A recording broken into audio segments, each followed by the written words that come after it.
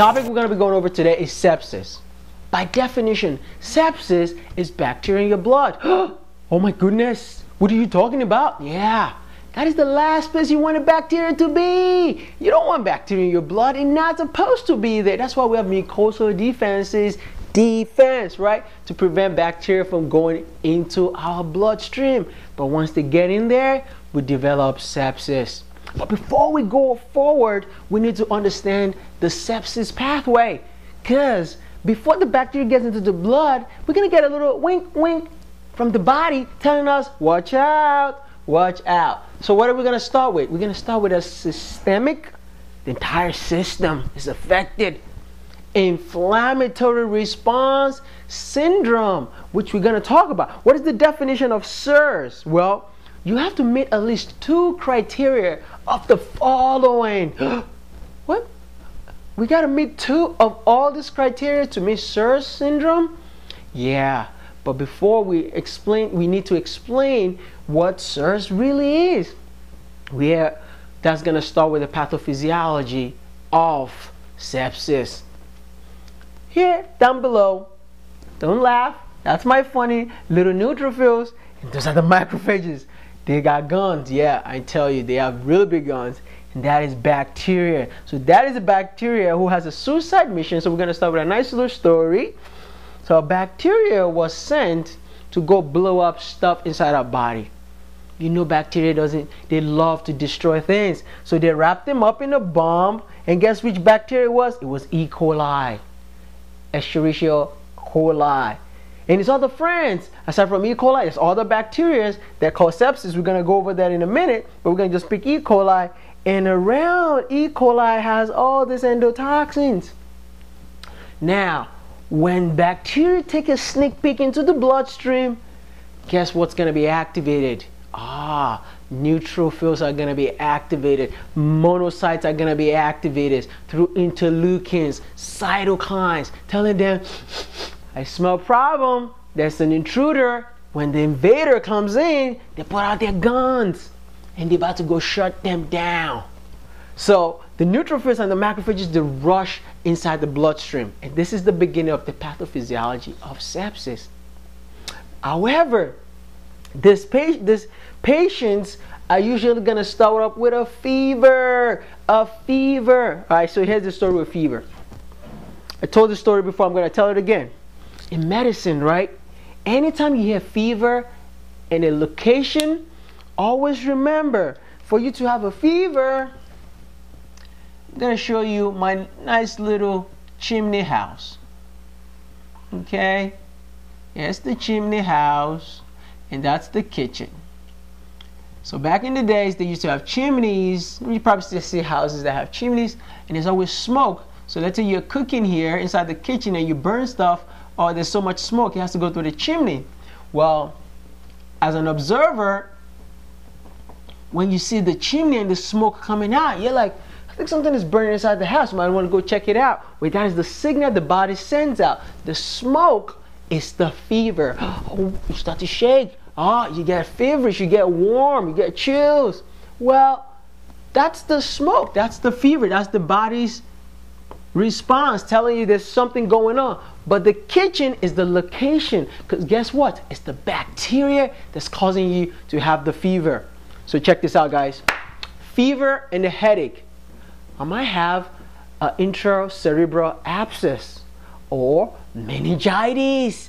Oh, look at that, sepsis man. If I have fever and meningitis, fever, headache, fever, headache, rigid neck, ah, guess what? The fever is telling me what's going on. There's a bacterial infection and it's going on inside the head, so I have a headache.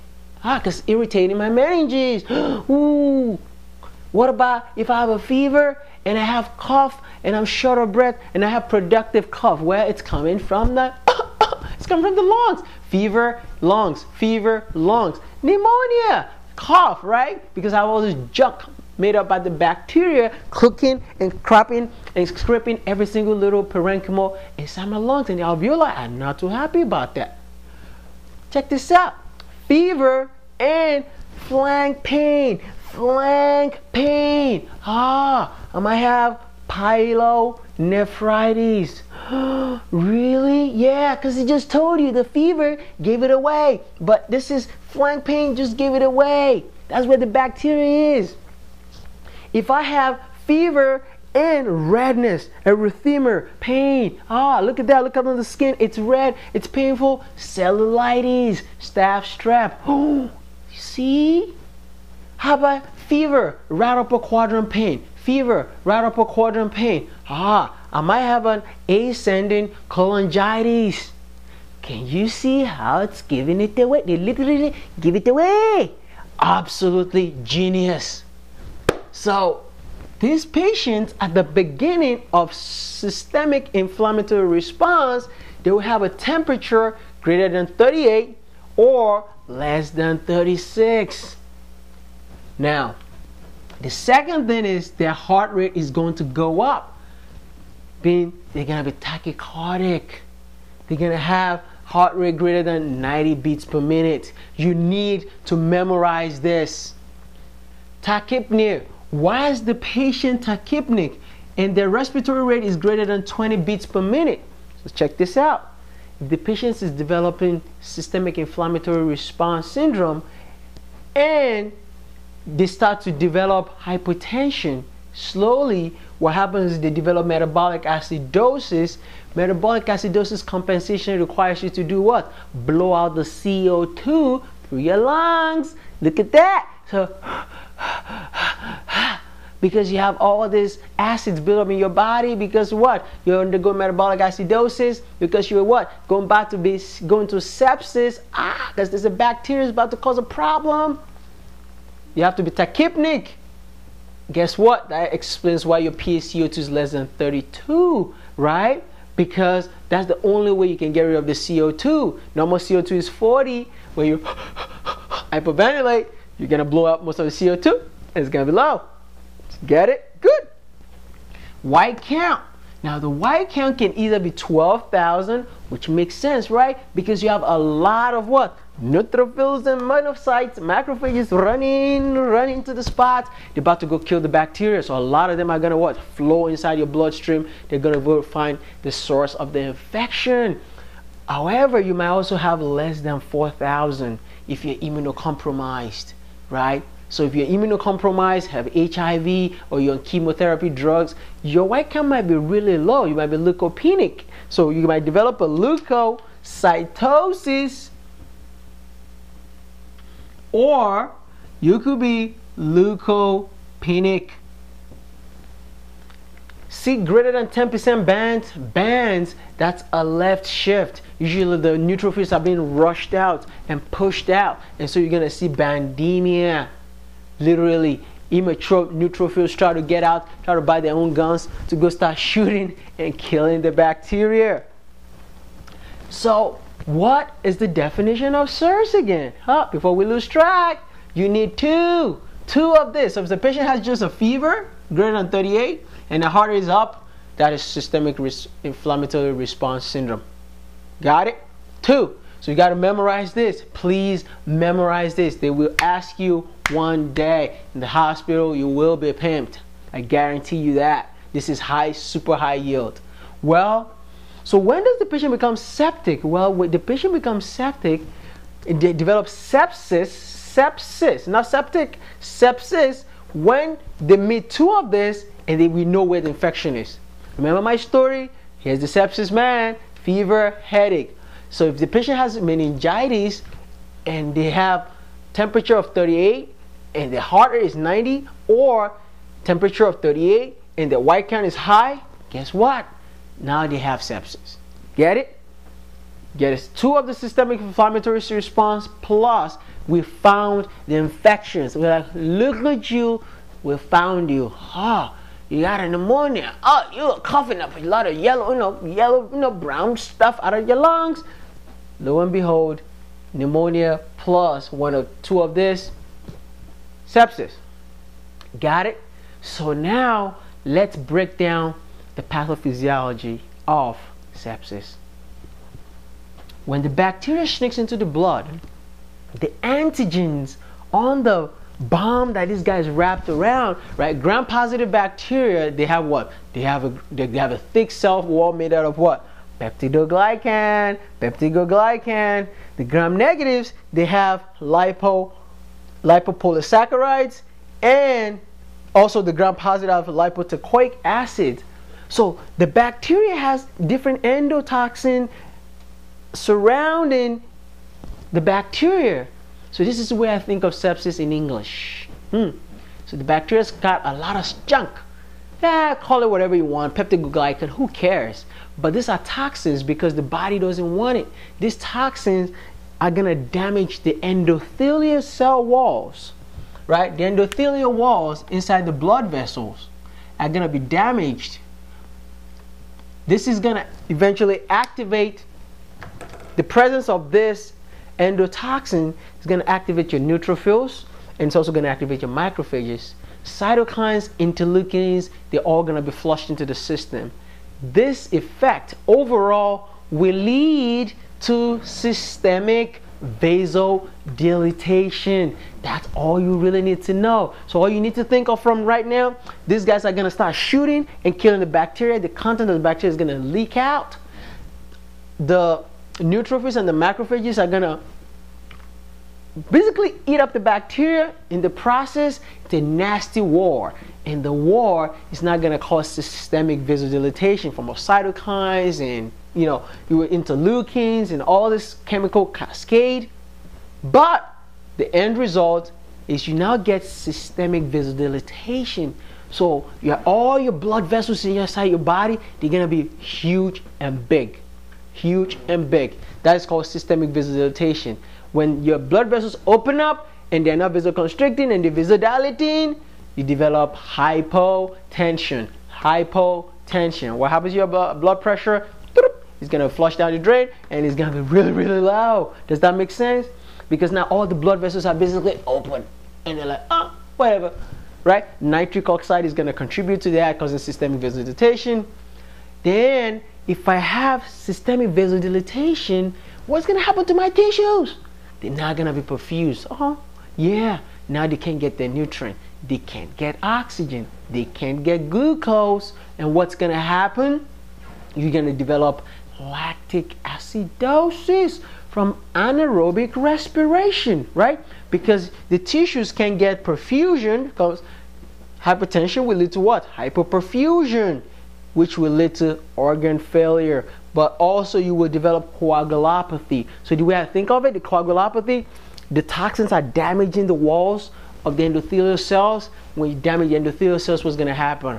Von Willebrand factor, platelet is going to bind, platelet aggregation. This platelet aggregation are going to form microthrombi, right? You're going to use up your platelets, you're going to use up all the coagulation cascade and all of a sudden you can develop DIC too. So that is serious. That's coagulopathy. That's one of the complications of sepsis. That was just, just how I remember it. It's pretty, pretty easy.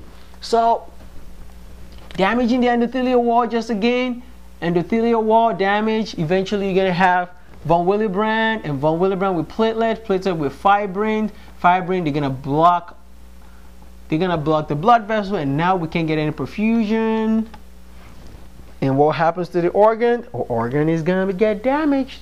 And that's it. But this is sepsis. That is the pathophysiology. Key hypertension, systemic vasodilatation. Hypertension, systemic vasodilatation. Now let's come back to our sepsis pathway.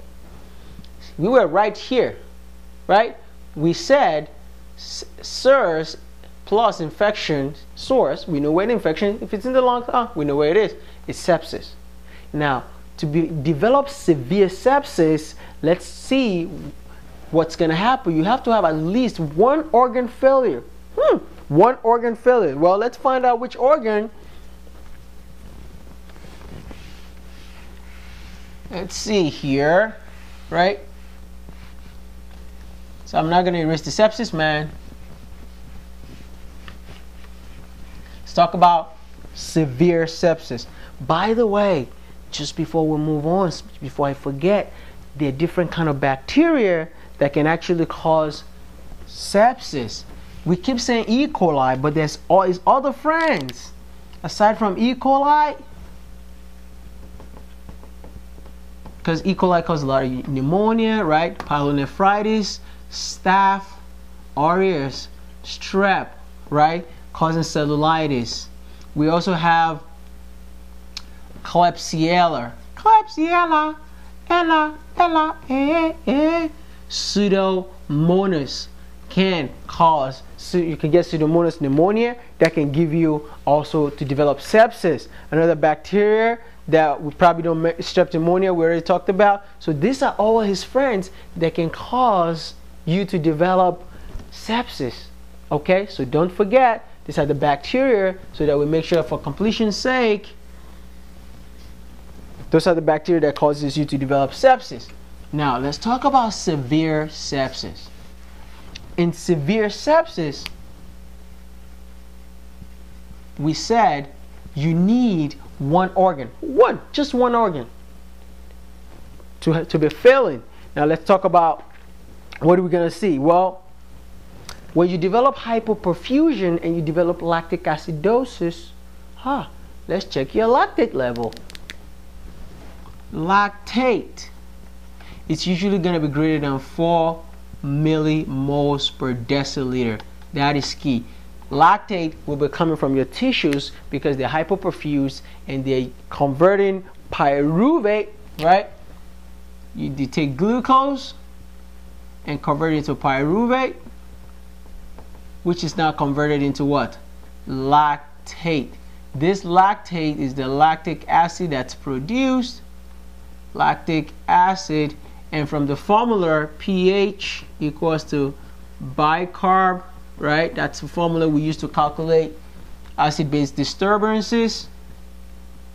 Lactic acid is going to be a lot of what? Hydrogen ions which is going to decrease your bicarb decrease your bicarb because you, they try to buffer all this acid produced by your tissues that in return will decrease the pH of the blood make you develop lactic acidosis. So you always want to check the patient's lactate. That is telling you the tissues is being affected. Well, also oliguria. Ha. Let's talk about that. Oliguria, oliguria, right? And what do we mean by oliguria? Decreased urine output. Usually it's less than 0.5 0.5 milliliter, milliliters per hour. That per kilograms per hour. Per kilogram per hour. That means you have so much systemic vasodilatation right? So this is your aorta coming from your heart and this is your kidneys. Everything is so big the kidneys is not getting enough perfusion because systemic vasodilatation is the key in severe in sepsis, right? So you develop oliguria and the kidney can't really filter stuff out and you're not peeing up you have enough urine. What about you're gonna develop an abrupt change in mental status? Change in mental status. Change in mental status. Right? You're going to be confused. You're going to be lethargic. You're not going to know what you're doing. Why? Because the systemic vasodilatation is decreasing perfusion to your brain. So these patients also might develop, they might have mottled skin or delayed capillary refill. Mottled skin or delayed cap refill. Let's explain that. It's all from systemic vasodilatation, right? So if I try to check your capillary refill, it should be nice and red. When I press, it should be white. When I let it go, it should fill back within two seconds and be pinked up again. The problem is because they have so much vasodilatation, when you check for a cap refill, you're not gonna get back. It's gonna be delayed. It's gonna take longer. The patient also might be thrombocytopenic. Thrombocytopenic. Less than 100,000. Usually platelet count is between 150 to 400,000. This patient, if their platelet count is going down, that's explaining coagulopathy. coagulopathy because they're using up all their platelets because you're damaging the endothelial wall, causing the platelets to stick to the von Willebrand. The fibrin is being made from the, uh, the coagulation cascade, and eventually the platelet count is going to drop. This is systemic, all the entire body. This patient can also develop acute lung injury, which is ARDS or acute lung injury. That's another complication because if the lungs is affected, that's one organ, right? If the brain is affected, that's altered mental status. The kidney is affected. So what did we say the definition of severe sepsis? Wait a minute. They have sepsis with one organ failure will give us severe sepsis. If they meet any of this, this patient is in severe sepsis. Well, we're not done. The story continues. Severe sepsis is now going to eventually go into septic shock. Well, we're going to go over and start talking about what septic shock entails.